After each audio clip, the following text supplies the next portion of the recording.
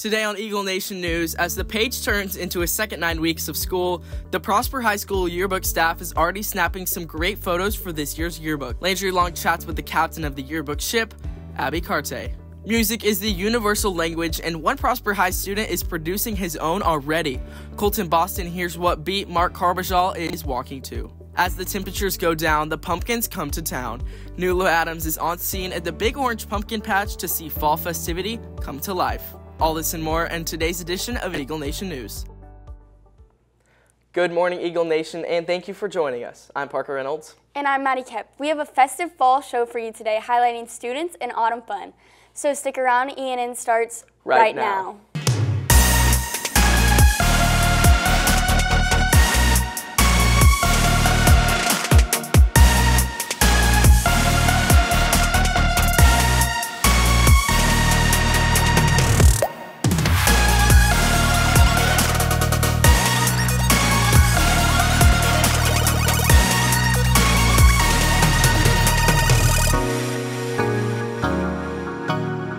Welcome back, Eagle Nation, and thank you for joining us here in Studio 301. Today is Friday, October 20th. It's great to be back in the studio today, Maddie, and the weather is kind of starting to feel a little cooler. Have you done anything fall related so far? Yeah, Parker, it's been nice to be able to drive with the windows rolled down. Yeah, for sure, and if you've been driving down Highway 380, you may have seen the newest addition to the Gates of Prosper. Isabel Molter is on scene with more on the new Target. Isabel Thanks, Parker. I'm here at the new Target that had their soft opening on Tuesday, but their grand opening will be this Sunday on October 22nd. If you look over here, you can see Highway 380 and even further the rest of the Gates of Prosper. This Target will be part of Prosper's three-phase development plan and is now open to the general public, so make sure to check it out. Back to you guys at the desk. Thanks, Isabel. I know. I'm glad it's finally open. Yeah, I visited it yesterday, actually. I'd say it's very similar to other Targets, but the location is definitely what sets it apart. Right, the only thing I was missing was my Halloween decorations. Well, I know a lot of people love Target for different reasons, but it's great to, that people in Prosper and even the surrounding towns have it as a closer option now. And somewhere else that's especially fun during fall times are pumpkin patches. Nula Adams takes a hayride into one that takes the fall spirit to the next level. Thanks, Maddie. Here at Big Orange Pumpkin Farm, things are family run, and they work to make everyone feel like they're a part of the community. We see families out here having fun, so we get family and friends and farm life. So we get to share a lot about the things that we value with our community. But adults aren't the only ones who love the pumpkin patch. I really like to go places like pumpkin patches with my family. The pumpkin patch runs on family and community, but how did it start? About probably 27 years ago, my husband got some pumpkins in the back of his truck on the corner of a street and sold little pumpkins right out of the back of his truck. Not only is the pumpkin patch full of pumpkins, but the animals also play an important role. Well, we've always had a farm. We've always had farm animals, and we've always, my husband uh, built the barn, and we've always had animals on the farm. The love for this season's spirit is what continues to motivate Big Orange Pumpkin Farm to bring fall to y'all. Reporting for Eagle Nation News, I'm Nula Adams. Back to you guys at the desk. The Big Orange Pumpkin Farm will be open until the end of the season, but their petting zoo and cafe are open all year round. I was actually with Nula when we went down to the pumpkin patch, and the fall vibes were so good. Right, I love pumpkins, and this is just the right time for pumpkin spice and everything nice, I guess. Something that wasn't so good was when a performer had to suddenly stop their own show earlier this week. Next up is Talent Talk, sponsored by Cookie Co. In this locally owned and run store, cookies are made with real ingredients, real love, real good. So when you're in the mood for a delicious bite, come try us out at Cookie Co Frisco. From showstoppers to new announcements, there's always something new in Hollywood. Dylan Mize is in studio with more. Dylan? Thank you, Maddie. This Wednesday, Adam Sandler was hosting a comedy set at SAP Center, Center in San Jose, California. When a fan needed medical attention, he made sure to quiet down the crowd, saying, quote, let's take a few seconds and we'll just let these guys concentrate, all right? Love y'all. After he was sure that the little kid was all right, he rallied the crowd once more, cheering the kid on as he left the building. Thankfully, this morning, NBC News released a statement that the kid is okay and he was just suffering from dehydration. In much lighter news, Puerto Rican rapper singer Bad Bunny recently announced his 2024 Most Wanted World Tour. Well, he will be stopping at 37 different major cities all across North America from February 21st to May 22nd. This tour will have hits from his newest album that translates to Nobody Know What Will Happen Tomorrow. Personally, I don't listen to Bad Bunny, but I so I don't know any of his music, but I am always excited for a concert no matter who it is. Keeping with music, one PHS student is already producing songs of many genres. Colton Boston takes a listen to his story in music. Saxophone player Mark Carbajal has grown up in a musical family, so when he had the chance to mess around with the piano, he always took the opportunity. I played around, messed with keys on the piano. I kept finding scales like these, just like the black keys, they all sound great together.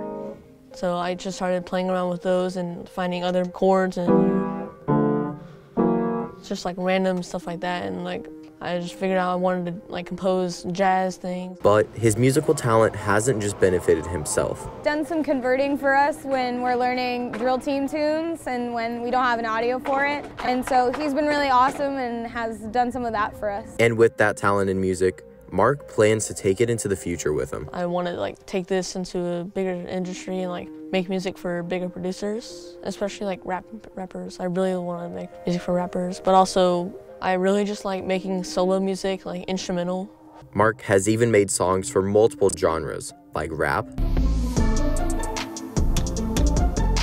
video game soundtracks, or even some late night study songs. And he even does all of the album art himself. Plus, the song that you've been hearing throughout this video was made by him. Reporting for Eagle Nation News, I'm Colton Boston. It is just so cool to see Mark expressing himself through his passion. Yeah, it is. And on the topic of making noise, Prosper Sports continue to bring the energy. Game time is next.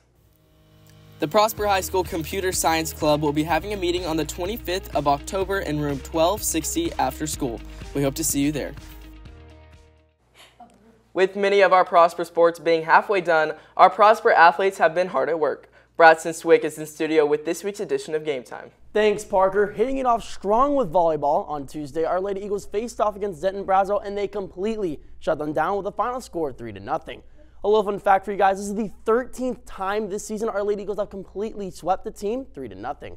A player completely dominated this game is Aiden Ames, who had 19 kills with an average of 6 kills per set and an outstanding 11 blocks. Congratulations to our Lady Eagles on this exciting win. Now splashing into swim and dive, on Wednesday our swim and dive team compete against Walnut Grove, Rock Hill, and Capel at the PISD Natatorium. And they're expected to compete against Walnut Grove and Reedy on November 1st at 6 p.m. Hitting it over to golf news, our Prosper golf team is playing in the Argyle Invitational right now at the Robson Ranch Golf Course. Good luck to those competing. Finally, switching over to football, tonight our Prosper Eagles will go up head-to-head -head against Denton Brazos on their home turf. Good luck to our Prosper Eagles. That's all for this week of Prosper Sports. Back to you at the desk. Thanks, Bradston. Good to know that our Eagles are still dominating, just like our yearbook staff. Yeah, from the beginning of the school year to the final couple of weeks, the Prosper High School yearbook staff worked tirelessly to capture all of the highs and lows of high school. Landry Long sat down with the chief editor to see how this year's yearbook is going so far. Yearbook is honestly like pretty much a full-time job. A lot of people kind of think it's really easy or like we just pull different pictures together and put it together. There's a lot to it. We start in the summer and we don't end till close to the end of school, the school year. But it's just all about keeping, you know, the destination in your view and we always end up coming out so proud of our book. The destination can be daunting for some due to the extreme effort it takes to complete a Prosper Eagle yearbook. I was extremely shy when I started taking yearbook. I remember like hearing that we had to go get like quotes or we had to go take pictures at events and I was like I did not want to do that. Like I was just not a huge people person and I feel like three years later after doing this for so long, it's really helped me get outside of my bubble and like I really encourage anyone who struggles with that to take this class because it's like perfect for that. Stepping out of their comfort zone is what makes the end product so special, not just for those in the photos, but also behind the camera. This is a student run publication. The editors have to make the best decision for the publication, which it's a over 400 page publication. Abby understands that we're running a business. and she's been doing this for almost four years, so she has a lot of training. She also leads by example. She's patient and understanding, um, but she is hardworking and very self disciplined. On her fourth year in the program, Abby is determined to capture the highest moments of students' high school careers. I mean, there's just some like key moments I can think of that like core memories of showing people different pictures or them seeing themselves in the book. That's my favorite mem- like favorite moment is when the books come out and everyone's you know flipping through the book and they're like, oh that picture is so good or that picture is so cool or that like perfectly captures what that moment felt like. And I that's just a really like special moment and I just love doing it. The yearbook staff leaves their mark on PHS one photo at a time. Reporting for Eagle Nation News, I'm Landry Long. To see just a few of the yearbook staff's photos, you can check out their Instagram at Prosper Eagles Yearbook. That's right. I've seen they've taken a lot of pictures at football games, so maybe you can get a feature tonight. For sure. Well, that's all we have for you today, Eagle Nation. Thank you for letting us tell your stories. Once again, I'm Maddie Kipp. And I'm Parker Reynolds. Have a great day and go Eagles. Eagles.